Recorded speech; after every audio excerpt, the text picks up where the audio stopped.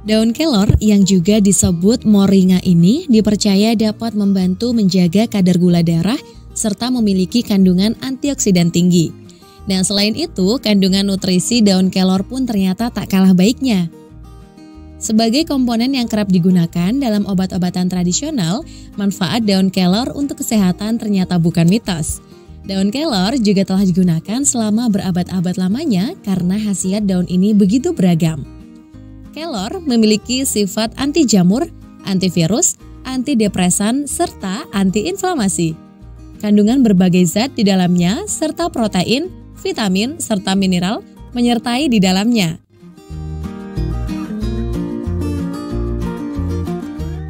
Nah, yang pertama, lindungi dan menutrisi kulit rambut. Khasiat daun kelor yang pertama adalah dapat bantu lindungi serta menutrisi kulit dan rambut. Nah, minyak biji kelor bermanfaat untuk melindungi rambut dari radikal bebas serta menjaganya tetap bersih dan sehat. Kelor juga mengandung protein yang artinya bermanfaat dalam melindungi sel kulit dari kerusakan. Ini juga mengandung elemen pelembab dan detoksifikasi yang juga meningkatkan kulit dan rambut. Nah, yang kedua, kaya akan antioksidan.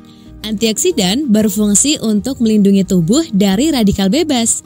Kadar radikal bebas yang terlalu tinggi dapat meningkatkan resiko terhadap berbagai penyakit, seperti diabetes mellitus tipe 2 hingga penyakit jantung. Yang ketiga, membantu menurunkan kadar gula darah. Daun kelor juga disebut dapat membantu menurunkan kadar gula darah. Sayangnya, belum banyak peneliti yang mengungkapkan manfaat daun kelor dalam hal ini. Yang keempat, membantu meredakan peradangan.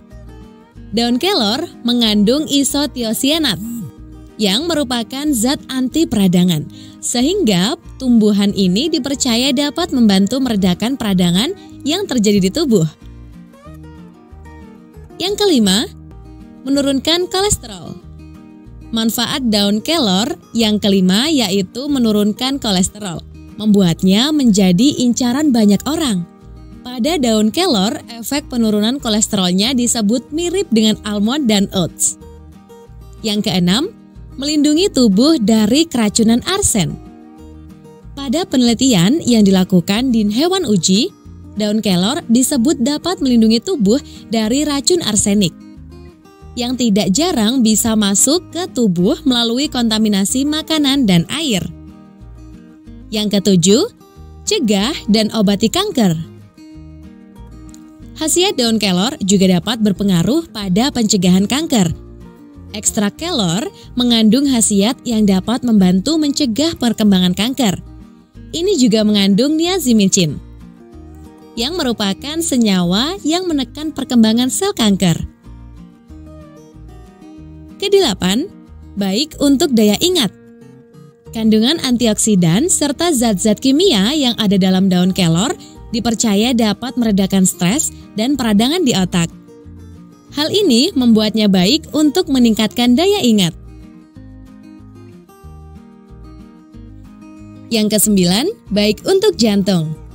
Ekstrak daun kelor disebut berpotensi mengatasi disiplidemia, salah satu jenis penyakit jantung akibat naiknya kadar kolesterol serta trigliserida di tubuh. 10. Buat tulang lebih sehat. Kelor juga mengandung kalsium dan fosfor yang membantu menjaga tulang tetap sehat dan kuat. Bersamaan dengan sifat antiinflamasi, ekstra kelor dapat membantu mengobati kondisi seperti radang sendi dan juga dapat menyembuhkan tulang yang rusak.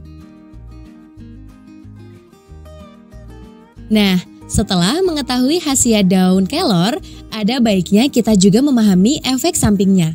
Biasanya ada beberapa obat yang secara tak langsung justru menimbulkan efek negatif jika dipadukan dengan kelor ini.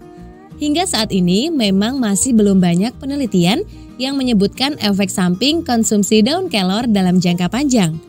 Namun, para ahli mengkhawatirkan mengkonsumsi daun kelor secara berlebih bisa menyebabkan mual, diare, dan heartburn. Selain itu, meski daun kelor dipercaya bermanfaat untuk kesehatan, anda sebaiknya tidak mencoba menggunakan bagian lain dari pohon kelor yang belum terbukti khasiatnya secara ilmiah. Itulah manfaat atau khasiat daun kelor yang kami rangkum dari berbagai sumber. Semoga bermanfaat.